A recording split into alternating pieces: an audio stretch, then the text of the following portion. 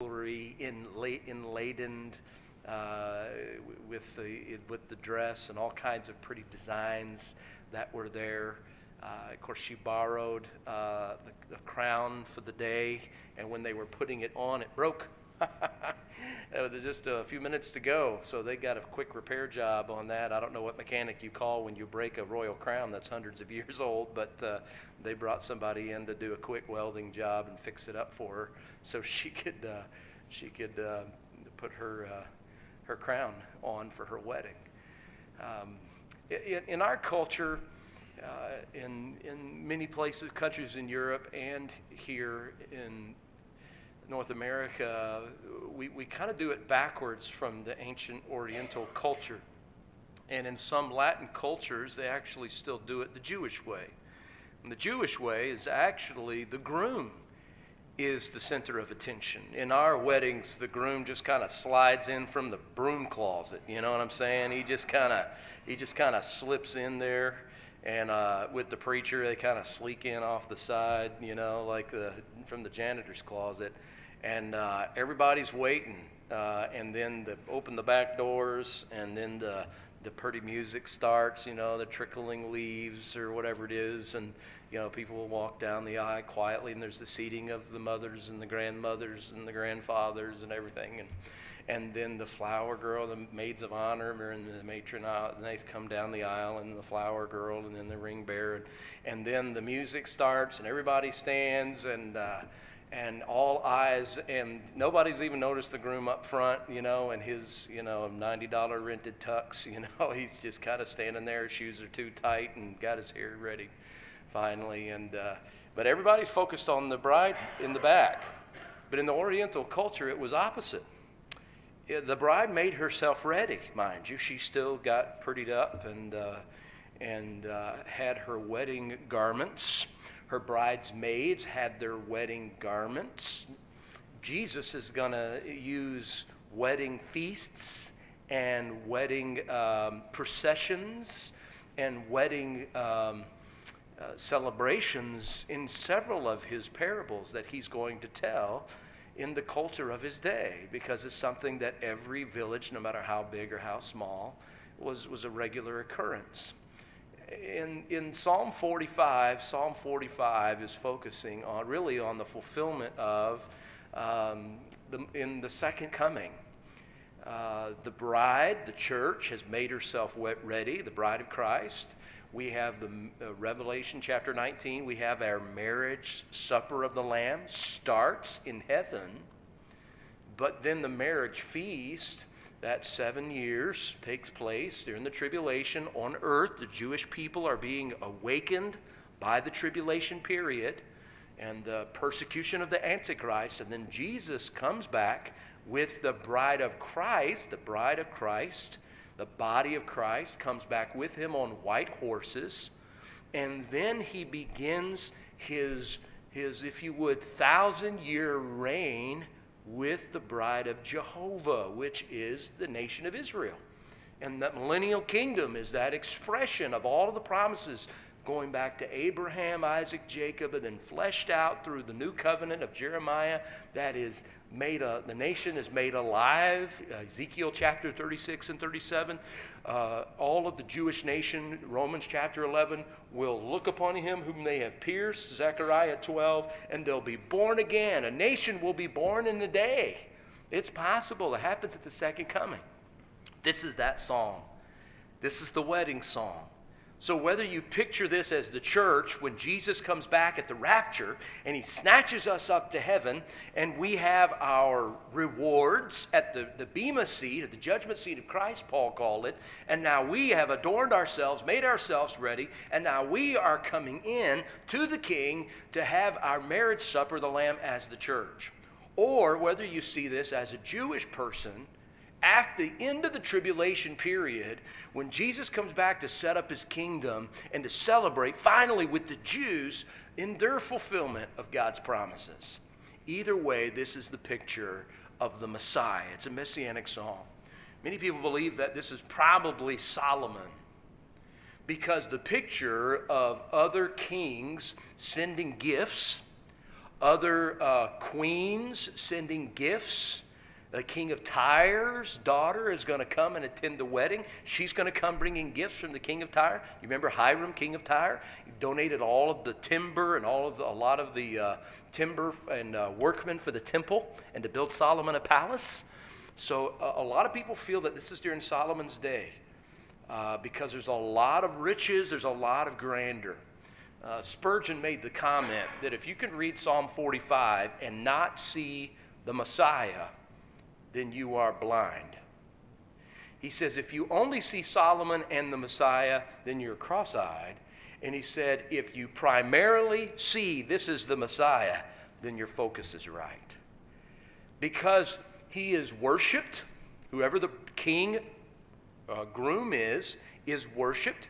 He's called Lord, he's called God, and Hebrews chapter 1 says, This is the Messiah. So, whether it's Solomon and his, his big wedding, some people think it may have been Solomon's wedding to uh, Pharaoh's daughter, where Solomon's entourage and escort go down to get the bride in Egypt. She takes the uh, boat up the Nile River. She comes across the desert, down through the Judean desert, and comes up the highway and makes her way into Jerusalem, and we have the wedding now. But if this is an earthly picture, and it could be possibly, at some point we see that this is a love song. Matter of fact, look at Psalm 45 at the introduction. You see that little small tiny writing under chapter 4 Psalm 45? Depending on what kind of study Bible you have, most of you should have the introduction. It says, To the chief musician upon Shashnanim. All right? Shashanim if I mispronounced that correctly. Shashnanim is the word for lily. It's, it's the word for lily. Some people think that it was, it was lilies that decorated the, you know how we decorate our aisles with flowers sometimes, okay? That the, it was time to get the lilies out for this wedding, okay? So when you sing this at the temple, put some lilies out to remember ahead, to remember behind at Solomon's wedding, and to look ahead when Messiah is going to marry us. So it has something to do with lilies. Some people, musicians, think that this was an ancient uh, six-stringed instrument. Okay, uh, do you remember when Solomon, uh, when he built his palace and the temple, he had at some of the top of the pillars, he had lilies around them. So do you remember Jesus the Messiah as the lily of the valley? Okay, the bride of morning star. All right, so it's a, it's a, to the chief musician. So this psalm is going to be written, and he's going to say, You take this to the head musician in the whole kingdom. Take it to the music pastor. We want this sung. To the chief musician, for the sons of Korah. I want you to give it to the choir.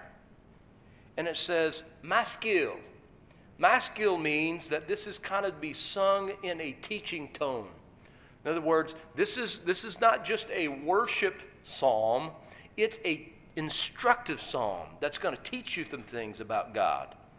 It says, and notice that last phrase there in this introduction section a song of loves. a song of loves. God blessed my heart with this psalm in my devotions the other day, and I just wanted to share a couple of thoughts with you. This is a, the, the newspaper clipping of Princess Diana and um, Prince Charles when, when they got married there. But uh, we're going to look at the majesty of the groom and his glory. Psalm 45 focuses on how great the king is on his wedding day. How great the king is on his wedding day. And then the last part of the psalm focuses on the bride and how excited and what her response should be to the king on his wedding day. Of course, it's her wedding day too. But again, the culture is, you know, it's a little hard for us to take in North America that the focus is on the groom. But uh, this, this, is, this is the way theologically it should be, and we benefit when we, when we see it that way. I just want to look at a couple of things. Look at the excitement over the king. Verse number one look at the excitement over the king. My heart is inditing a good matter. I speak of the things which I have made touching the king. My tongue is the pen of a ready writer. I mean, he's so excited, he can't wait. Did you ever have something that, that happened and you're like, oh, I got to text this. I just got to text this. You, you, you, get a picture, a selfie, or, you, or whatever it is, and you're like, oh, I got to send this email out. I got to tell, I got to call him right now. That's the way the author is. Now, under inspiration of the Holy Spirit of God, is going to record this in the way that he wants to. But the author is excited about the king. He says, My heart is inditing a good matter you know, you know, bad news has a tendency to travel fast. Uh, sometimes my, my, wife at certain times she likes to listen to the news. She likes to listen to it while she's getting up and getting her coffee going, and her getting her cooking her egg and getting her coffee, and she likes to listen to it while she's making supper. And I, to me, it sounds the same in the evening as it did in the morning. Just the same bad news. It's just 12 hours later, right? You know what I'm saying? And uh, but but good news. He says, I got have some good. I have a good matter. and it says, my heart is inditing on a good matter. The word inditing has the idea of of bubbling over. Do you ever you ever shake a, a pop and then open it? That's his heart. His heart has been shaken by, by his love for God, and he's got this tune in his mind, and he's got this song in his heart, and he's got to write it down. He has to write it. His heart is about to explode Jesus while he was on earth. I mean, you go into the four Gospels in the New Testament, most of the time in your Bible, in English, we have it, it's in red. That's just the, the printer's way of showing you sections where Jesus directly is, is speaking and being quoted as saying something. And that, that's, that's what he's saying. He says, Every time you talk, you say something wise. Every time you speak, it's with God's grace. Every time you get, and even when you speak of judgment, it, it's, it's backed by, the, by the, the justice of God's goodness. Grace is poured into thy lips. Therefore, God hath blessed thee forever. God is going to reward the king because he's just such a great orator. I believe it was uh, Queen Elizabeth's father who had a hard time stuttering when he became king, and he had to hire a, a speech therapist to help him because he had to. All, he was king now. His brother had abdicated, and now he's king, and he had to start giving speeches, and he he had a hard time giving his speeches over the radio. Jesus Christ, grace came out of his preaching and his teaching and his conversation with children and women and sick people and poor and rich and religious and pagan. God's grace constantly being spoken of. And he, says, you know what? You're, you're, you're, all that grace coming out of your mouth, that righteousness, God's going to reward you. You're going to live forever. Just grace forever. And it's just kind of a celebration here. God hath blessed forever. He's never going to never going to run out of good things to say. He's admiring him. And then you have not only the excitement over the king, but there's the arrival of the king. He kind of he kind of kind of is, is excited about it. He says in verse number three, Gird on thy sword upon thy thigh, O most mighty, with thy glory and thy majesty. He speaks of the gallantry of the king as the groom, where he girds his sword on. I like what one author said about the Messiah. His first battle was at Calvary at Golgotha, the place of the skull. At Calvary, he purchased the people that'll be in his kingdom. The next battle, when Jesus comes back at the battle, is the Battle of Armageddon. It'll be in Megiddo. And at that battle, he's going to purchase their property. He's going to get their property back. Of course, we're all saved by the blood of Christ, we're all saved by faith. He says, Gird on thy sword. It, many times they would wear a belt around their shoulder that would hang down by their thigh on their side. So their sword would come and their sword would hang down on their thigh by their side. And and then they would take it and they would put it on the horse on the saddle so that it would be there. They didn't normally strap it around like a belt but uh, it really is pointless. The idea is, is he says gird on thy sword. When they would there are four if you go in britain they have four swords on display. Two of them are from one, uh, one of them is the, sword of mercy. Uh, there, there was a general who was about to slay someone, and he decided not to kill them. And so they call that the sword of mercy. Then they have two swords of justice that they have.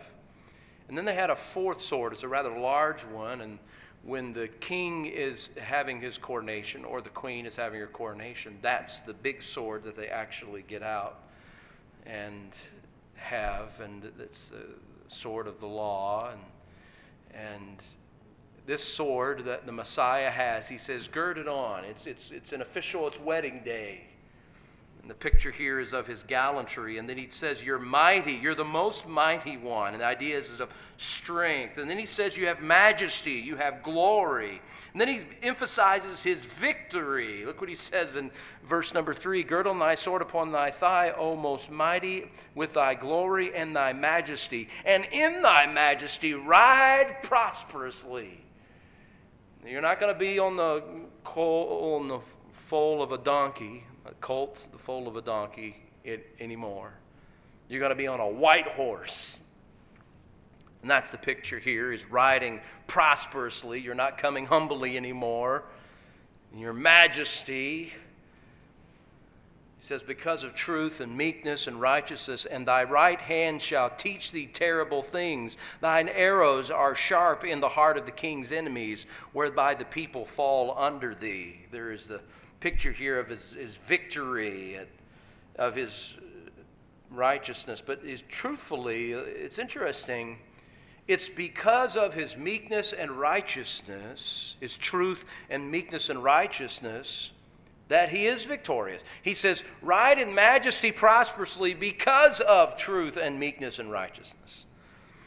One author put it like this I believe it was John Phillips. He called it, Because of your honesty, because of your humility, because of your holiness, you can ride in victory. He has a, he has a spotless record.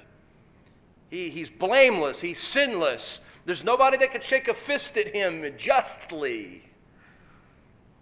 And then there's the appearance of the king. In verse 6, he kind of unpacks what it looks like. He says, Thy throne, O God, is forever and ever. That's very interesting. He talks about the royal throne here. This is why this really can't be talking about Solomon anymore, because he calls the bridegroom and the king God. As a matter of fact, keep your finger here and go to Hebrews chapter 1. I want to show you what the author of Hebrews takes Psalm 45 and he weaves a, a theology, he weaves a doctrine that Jesus, the Messiah, is better than angels. Look at Hebrews chapter 1, verse number 7 he's talking about how Jesus is better than angels. And he said, Of the angels, he saith, Make his angels spirits and his ministers a flame of fire.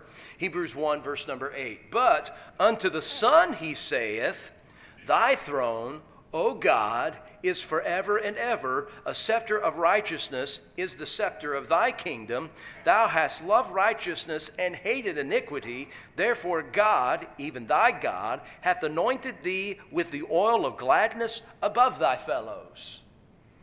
So he, he's, he's trying to help you understand that no matter what you've heard about angels and be how great and strong they are and can kill 185,000 Syrian uh, uh, soldiers in one night and, and how they can fly from the beginning of Daniel's prayer in Daniel chapter 9 and 10. He flies from heaven all across the galaxies and the universe and is standing there by the time Daniel's done praying. That's super light speeds going on there to fly the entire universe. As much as you think and know about angels, Jesus is far greater than angels, he's saying, because he never said to an angel that you are God. He said, which of the angels did he say, O God, your throne is forever and ever and ever? Go back to Psalm 45. This is, the, this is, this is talking about the Messiah. And if you understand the doctrine of the Trinity, you're not confused here. You understand that Jesus is God, God the Father is God, and God the Holy Spirit is God. You understand that in the Trinity, that, that God could speak to God. He's always existed. He didn't create this universe because he was lonely. He had the Trinity. He had eternal relationship. He had eternal love. That's the picture that's here. Is this appearance of the king and his royal throne, and it's forever and ever. It's interesting. Let me take a drink here.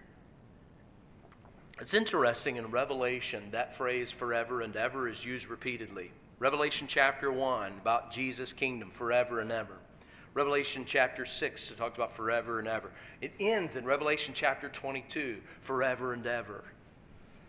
It's, it's a great thing to see his royal throne. And then his ruling scepter. He's, he talks about his scepter. That's his ruling aspect. He's, he has a throne, and the scepter of thy kingdom is a right scepter. There's nothing he's going to do when he rules that's going to be bad. He won't allow any evil, he won't make any bad calls. Can you think of maybe some bad calls that some prime ministers, premiers, maybe you would disagree with in the past three years with COVID and everything? He will never make a bad call. It will always be done in rightness. There'll never be any uh, favoritism. There'll never be any injustices. There'll never be any manipulation. There'll never be taking advantage of weak people. There'll never be any corruption. It's, a, it's refreshing. His ruling scepter is a reference to Psalm 2, where he's already set his king upon his holy hill in Zion. That's the king's appearance. And notice the king's attitude. Notice his attitude in verse number 7 Thou lovest righteousness and hatest wickedness. Now, you and I don't get to, get to define in this universe what's good and what's bad morally. God decides that. He is immutable, He doesn't change. And He loves good things in God's eyes. He loves it. He loves truth. He loves righteousness. He loves mercy. He loves kindness. He loves joy. He loves peace. He loves long suffering. He loves gentleness. He loves goodness. He loves meekness. He loves temperance. Against such, there's no law, not God's law. But thou hatest wickedness. We need to, the author said, that we need to love what God loves and hate what God hates. There are going to be, as peaceful as we are as Canadians,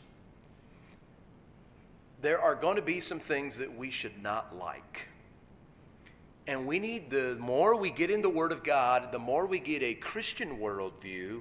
In the Christian worldview, we allow the Word of God to begin teaching our mind and our flesh we could die to the flesh. You can't teach the flesh, you die to it. But we renew our mind. We learn to say yes to the Spirit and to love good things in God's definition of righteousness and to hate wickedness, which is sin against God or, or stealing God's glory. He says, Therefore, God thy God hath anointed thee with the oil of gladness above thy fellows. True joy, according to the, the God the Father and the Holy Spirit in this text, is like an ointment. It's not trickled, all right? You ever, you ever see, you know, you think of Samuel coming to anoint David, you know, and he just kind of has this little bottle of olive oil and he just kind of goes. No, friend, they took the jar, all right? And it flowed down. When they anointed Aaron to be the high priest, uh, Psalm 133, I believe it says, it, it ran, the oil ran down his head, on his beard, down his shirt, and it just drenched the guy with oil, anointing him. That's how happiness, the Spirit of God poured joy and happiness on the Messiah. Now, he was a man of sorrows and acquainted with grief, but he had true peace and joy. Jesus wasn't depressed, he was overcome with grief at times because of the sin of the world and the price he would pay for sin of being separated from his Father. But Jesus had joy, and he says, I've come to give you life and more abundantly. Joy unspeakable and full of glory, Paul's going to say. Well, the more we learn to love righteousness and hate iniquity, the more the Spirit of God releases that peaceful joy, oil of gladness. And he, he describes this aroma of the king. He says in verse number 8, All thy garments smell of myrrh and aloes and cassia. Out of the ivory palaces whereby they have made thee glad. It's just everybody's happy at this wedding for Jesus. Everybody's excited. And even Brother Steve's is going to not have allergies in his glorified body. He's going to be able to handle this myrrh and aloes and cassia in heaven. Amen. It's, it's going to smell good, and it's not going to bother you. It's going to, he's coming out of the ivory palaces. Solomon had a throne made of ivory. Now, this is ancient of days, all right? This is a thousand years before Christ. Ivory was rare. I remember Don Moore, Margie Moore telling about uh, they hired a man to come in and fix their piano one time, and uh, he took all of the ivory off the keys. Uh, ivory is rare, okay? So you got to get it off the get off the tusk of an elephant, or you've got to get it from other tusks. So the picture is that this palace is full of ivory. Now, God doesn't have to take it off an elephant, He can just create it. So He's got a whole palace up in heaven. And it's, it's, he, as He comes through, He has this, these garments smell of myrrh and aloes and cassia. Myrrh and cassia were the two scents that they used in Exodus chapter 30 and 33 for, the hot, for anointing things in the tabernacle. It was a mixture, a certain type of mixture that they weren't supposed to sell on the marketplace for the Jews. It was supposed, this particular mixture was supposed to be just be reserved, and that's the scent in heaven, apparently. That's the aura, the aroma. And they attended to the king in verse number nine. The king's daughters were among thy honorable women. Upon thy right hand did stand the queen in gold of earth Ophir so all of these verses have been about the groom. They've all been about the groom. So can I just read these last verses in closing as application? How much you and I should love Jesus. I almost had the pianist play that song tonight. Oh, how I love Jesus. Oh, how I love Jesus. Oh, how I love Jesus because he first loved me.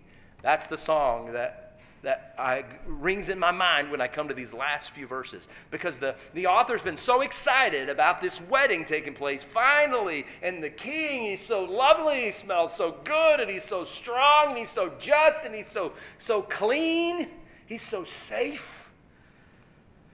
He's my king. And so he starts to speak now to the bride. If it's the, your church, then that's us. Hearken, O daughter and consider, incline thine ear, forget also thine own people and thy father's house. See, there's a decision that the bride had to make if she was going to marry Solomon. You can't live in Egypt and marry King Solomon in Jerusalem. you got to, uh, the principles in Genesis 2 leave and what? Cleave. You got to leave Egypt and you got to move to Jerusalem. And, and Solomon's going to build her a palace, all right, in Jerusalem. She's a Gentile, so he's, not, he's going to have her kind of off in her own little, little palace there. Um, not so in heaven. We're going to live with him in his palace. But there, he says, hearken and listen and consider and incline your ear. And he's going to say, you're going to have to forget your past that old family you came from, you're going to have to dedicate yourself from now on to this king. I mean, in, in Christian terms, we would say you're going to have to convert. You're going to have to leave the world behind. My dad sent me an email this week about the history of the song, I Have Decided to Follow Jesus. In the 1840s, there were two revivals that were taking place. There was a Welsh revival over in Europe, and there was a Baptist revival in North America in the 13 colonies in the 1840s and 50s. Both of these revivals, the Welsh revival and the Baptist revival in the 13 colonies in the U.S., Adoniram Judson sent missionaries to Burma and India, right there on the border.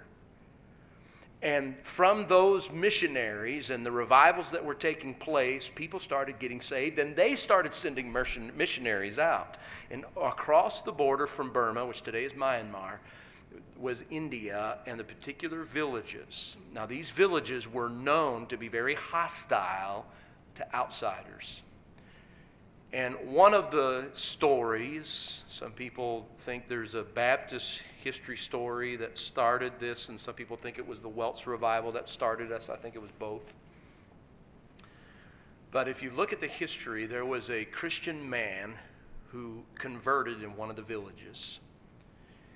And he was sharing his faith. His wife got saved, and his two boys, I believe, got saved. And the chief gathered the village together and this family, and they arrested them, you could say, and they wanted the man to recant, to deny Jesus, this Jesus that they had heard about, and to go back to the old ways. They worship spirits and a, a type of Hinduism. And he would not. He wouldn't recant. He says, I have decided to follow Jesus, no turning back. And so they killed with arrows, they, they killed his two boys. And he said, We're going to kill your wife if you do not recant. He said, I, I can't. I have decided to follow Jesus, no turning back. And then they shot his wife and killed his wife with arrows. And they said, We're going to kill you if you do not recant and stop following this Jesus. He said, uh, The world's behind me, the cross is before me, there's no turning back. And then they killed him. And the tradition says that the boldness of this man to decide to follow Jesus and not recant, not turn back, that the, it broke the heart of the chief. And the chief converted on the spot to Jesus, and therefore the whole village eventually got saved. And these two revivals, the Welsh revival and the Baptist revival, brought them back through their converts and the churches that were being started in India to Australia and then back to uh, Britain and then back to the United States in the 1940s. 100 years later, they were being used in revival crusades all over the world. I have decided to follow Jesus. And that's what the author is saying. This king is a great king, and you've got to decide if you're going to leave this and follow this king. So, hear, O daughter, consider and incline thy ear. Forget also thine own people and thy father's house. So shall thy king greatly desire thy beauty, for he is thy Lord, and worship thou him. I mean, this is the king's going to desire thy beauty. I mean, there's, there's a desire for the bride. There's a delight in the bridesmaids. The daughter of Tyre shall be with their, there with their gift, verse 12. Even the rich among the people shall entreat thy favor. Uh, even back then, they had uh, bridal showers, apparently. And you brought gifts to the wedding. Because here is the uh, king's daughter. Here is the daughter of the king of Tyre who's bringing some gifts, and lots of other people bringing gifts. So I think it's a good tradition even today. Verse 13 The king's daughter is all glorious within. Her clothing is wrought of gold. She shall be brought to the king in raiment of needlework. The virgins, her companions that follow her, shall be brought unto thee. With gladness and rejoicing shall they be brought. They shall enter into the king's palace. I want you to notice something. In this culture, in verse 16, talks about her duty as the queen. Verse 16 Instead of thy fathers shall be thy children, whom thou mayest make princes in all the earth. The queen's privilege was to bear the king children that would be part of his kingdom and help him rule over the whole planet. You see that? That's our goal as the church. Why has he left the church here? If he is our king and we have married him at salvation, why are we still here? What brings him glory? It brings him glory when we bear fruit, when we recruit some more sons and daughters of the king to be part of his kingdom and rule and reign with him for a thousand years and on and do forever. You see the picture here? This is where this is the portion of my devotions where I'm like, oh wow, I'm going to give this on Wednesday night the two portions of this passage where it says that you're going to have to forget your own people and your father's house and follow this king. and now we were supposed to, instead of your fathers and your focus being on your heritage, now your focus is on replenishing the king's heritage. We wanted some people to be born again and to be regenerated. Now they're transferred from the kingdom of darkness, Colossians says, into the kingdom of his dear son. We are promoting the kingdom every time somebody's born again because they become part of a citizen of on high. Philippians is going to say, Your citizenship is on high. That's the excitement that's here.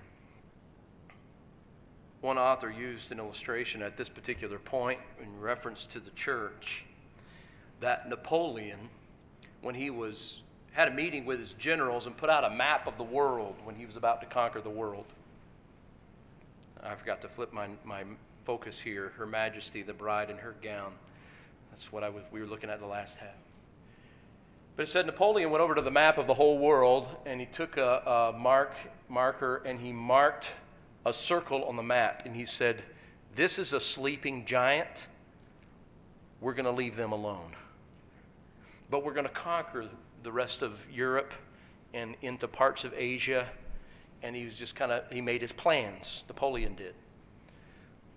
The circle that he drew around and said, This is a sleeping giant. We're going to leave them alone. We're going to let them sleep, he said, was China. He did not want to attack China, they had a large army. And the author of Psalm, one of the uh, commentators in Psalm 45 says, Sometimes that's Satan's tactic today. Of all of the people on the planet, if he could draw a circle around some churches and some Christians and say, just let them sleep. Just let them sleep. I'm not going to attack them. I'm not going to bombard them. I'm just going to let them sleep. Just, just let them enjoy the blessings their own life, their own family, their own focus, their own world. They're not passionate for the king. They're not making a difference. They're not multiplying themselves and recruiting more sons for the kingdom. Just let them sleep. May by God's grace our passion boil in our hearts for Jesus. That we long to share our faith and to see his fame spread abroad, which is the last verse in the text. Let's pray. Father, thank you for your beauty of this wedding psalm 45. Uh, thank you for the theology that's behind it about Jesus being God and the Trinity and the deity of Christ in the book of Hebrews that he's better than angels and he's better than priests and better than Moses and better than Aaron. What a great wedding day. We long for the rapture, for the marriage supper of the Lamb. You're, you're going to be so handsome. You're going to be so royal in your, your, your gallantry with your sword at your side and coming out of the ivory palaces with those beautiful pillars and the smell that's going to just seem so sweet after the corruption of this planet and this rotten world. It's going to be so refreshing. Until then, would you ignite our hearts aflame to love Jesus and spread his good news? That our tongues would be the witness of a ready writer. That our hearts would be inditing this good news and the good matter of Jesus, our King.